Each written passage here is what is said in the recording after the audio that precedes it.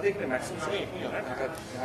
হয় আমাদের আমার যেমন এটার আমরা এপ্রিলে যাব হচ্ছে সিঙ্গাপুরে আর মেতে যাব হচ্ছে ইন কেস অফ ঢাকা মানে শুটিং এইখানে যদি হয় তো ঢাকার আশেপাশে হয়। ঢাকার If you are not হ্যাঁ সেটাও যাওয়া হয়। স্টোরি বেস করে স্টোরি বাংলাদেশে শুট করাটা একটা ইমোশনাল একটা ব্যাপার। আমরা বাংলাদেশে শুট করেছি কিছুদিন আগে হতো এখন বলছি আই থিঙ্ক সেইটা বেশি কানেক্ট করবে rather than shooting Switzerland shooting in Italy আমি কানেক্ট করতে পারছি মানে আমি বেশি তো বিদেশি আমরা নর্মালি শুট করতে আমার বেশি ভালো লাগছে এখানে। সিক্সটি পার্সেন্ট লোকের একটা কানেকশন আছে ইমোশনাল কানেকশন ইমোশনাল কানেকশন তো তোমার এই ছবিটা দিয়ে হয়তো আমাদের সেই হবে। আমরা কমার্শিয়াল হবে একটা ছবি দেখানো তো আস্তে আস্তে বলছিল এইটা মনে থাকবে বাংলাদেশের শুটটা হ্যাঁ?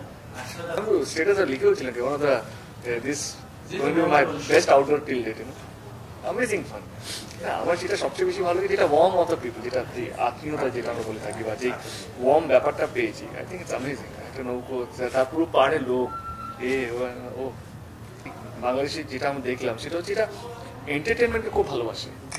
এই যে যে কোনো ফর্ম অফ এন্টারটেনমেন্ট যেটা হয়তো গান হতে পারে বা অ্যাক্টিং হতে পারে, ছবি হতে পারে, সেইটাকে অ্যাপ্রিসিয়েট করার জন্য একটা দর্শক চাই, সেটা প্রচুর আছে বাংলাদেশে।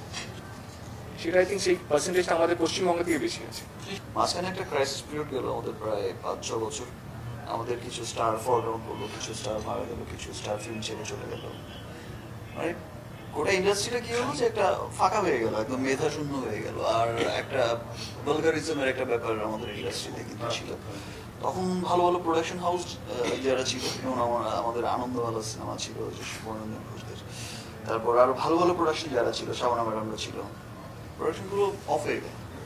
অফ হয়ে গেল। সবাই আর কি বিষয়টা অনেক কেমন হয়ে গেল ইন্ডাস্ট্রিটা তারপর বেশ লম্বা পাঁচ ছয় বছরের একটা খুব ক্রাইসিস পিরিয়ড গেল।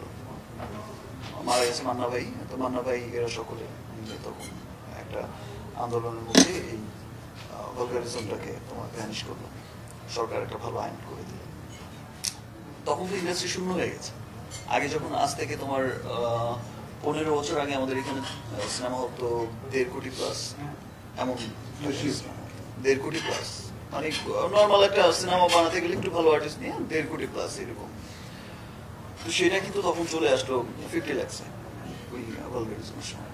তারপর আবার আমরা আবার নতুন করে শুরু করে আমার ওই সময়টায় আমার ওই সময়টায় শুরু করে আবার এই এতটুকু আশা। আমরা পৌঁছতে যদি পারি ঠিকঠাক ভাবে then definitely see that K they are ready to help ওই পৌঁছানো পর্যন্ত ওই যতটুকু যেতে হয় আর কি। এবার আমি যদি আপনার কাছে আছি দাদা আমাকে এটা লাগে। আপনি কি না বলবেন না? কিন্তু এই যে আপনার কাছে আসা পর্যন্ত যে জানি আমাকে সেটা আমাকে এটা মানে ওইটাই আমাকে হয় ওইটাই ওইটুকু মাত্র ডিস্টেন্সটা